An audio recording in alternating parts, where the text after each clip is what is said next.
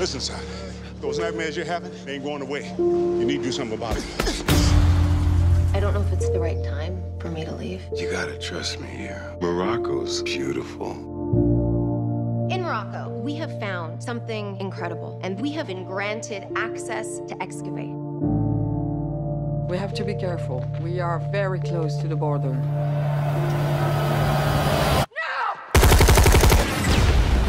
What is going on? Not move! Please don't shoot! Please! Hands up! Please don't! Brad, Kate has been abducted.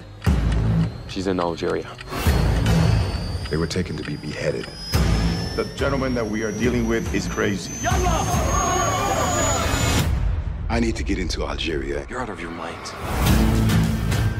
We can't have him involved in this. This one's off the books. We should discuss our approach. Our approach. Your eyes open, your mind sharp.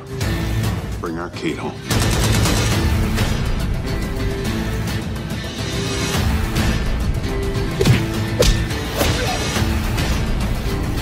Who are you?